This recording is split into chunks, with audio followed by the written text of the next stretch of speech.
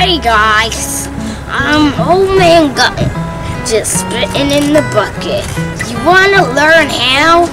First you gotta take your beautiful bucket, and then you gotta go like this. Okay, that's all for today. I forgot, how to feed this to my raccoons. Bye!